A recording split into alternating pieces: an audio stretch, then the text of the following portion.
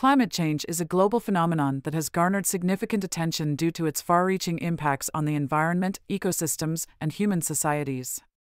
The increasing concentration of greenhouse gases, such as carbon dioxide, in the atmosphere is leading to a rise in global temperatures, resulting in various adverse effects.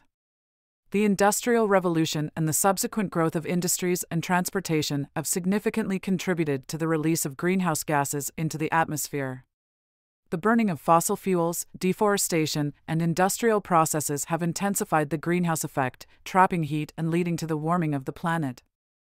Ozone layer depletion has become a significant environmental concern and a global challenge. The ozone layer, a region of high concentration of ozone molecules in the Earth's stratosphere, plays a vital role in protecting life on our planet from harmful ultraviolet radiation.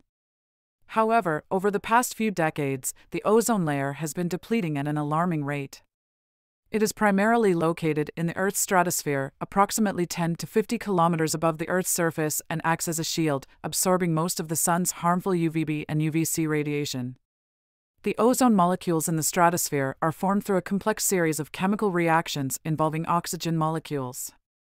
The primary cause of ozone layer depletion is the release of certain human made chemicals known as ozone depleting substances, ODS. The most well known ODS are chlorofluorocarbons, which were extensively used in aerosol propellants, refrigeration systems, and foam blowing agents. When released into the atmosphere, these chemicals reach the stratosphere and break down ozone molecules, leading to the thinning of the ozone layer. The depletion of the ozone layer has serious implications for both human health and the environment. Increased ultraviolet radiation reaching the Earth's surface poses risks such as skin cancer, cataracts, and weakened immune systems in humans. It also affects marine life, disrupts ecosystems, reduces crop yields, and damages phytoplankton, which plays a vital role in the food chain. The Montreal Protocol, signed in 1987, aimed to phase out the production and consumption of ozone depleting substances.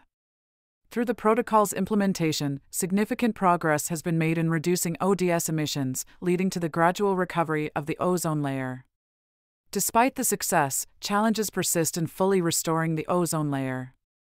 Some ozone depleting substances have long atmospheric lifetimes, and the existence of stockpiles and illegal production continues to pose threats.